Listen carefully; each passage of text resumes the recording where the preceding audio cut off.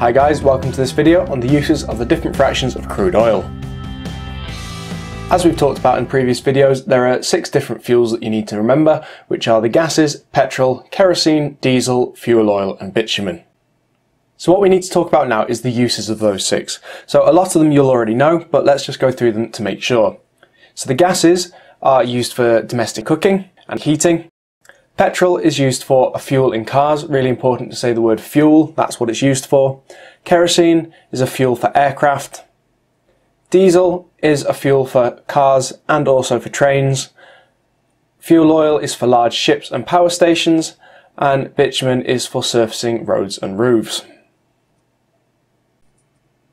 Now what I'd do is spend some time, pause the video at this point and actually really make sure you know those uses. So see if you can recall them without looking at the screen and if you can't, check it, check it again. Because it's really important to know the names of the six different fuels, know them in order and know what they're used for. That is everything you need from this video. Let's have a look at what the examiner can ask.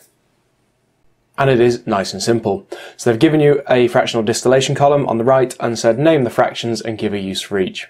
Notice they haven't said put them in order. I'd always get into a habit of doing that, but don't worry if you can't remember this question, but try and remember it in the future. So name the six different fuels and give me one use for each. Pause the video, we'll see how you've done in a minute.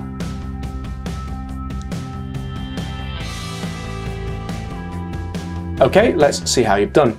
So if we go in order then, at the very top we have our gases, they're used for domestic cooking or heating. So cooking or heating would have got you the mark along with the name of gases. Second one down, that's our petrol and it's a fuel for cars. If you didn't say fuel for cars, you didn't get the mark. You needed to say petrol and fuel for cars to get that one mark. Kerosene is a fuel for aircraft. Diesel is a fuel for either cars or trains. Fuel oil is a fuel for either large ships or power stations. And then bitumen is for surfacing either roads or roofs. So you just needed the name of the fuel and one example of a use to get one mark. That's pretty much it for this video. There is a review question which says Name the missing fraction and give uses for diesel and bitumen on the right hand side.